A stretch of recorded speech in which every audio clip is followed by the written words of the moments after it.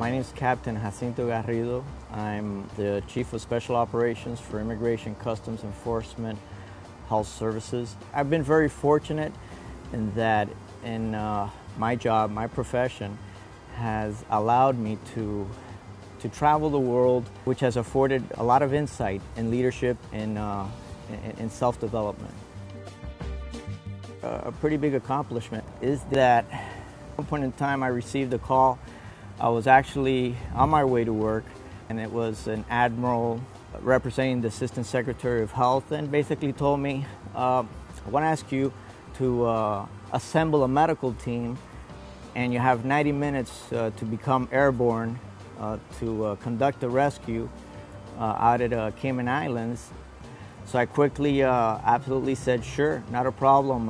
and actually, within 90 minutes, we were airborne, and we went to the Cayman Islands. We were the first ones to land. And uh, in, in, two flights, we rescued about 252, 254 um, American citizens, and we actually had some room for Canadians and British nationals.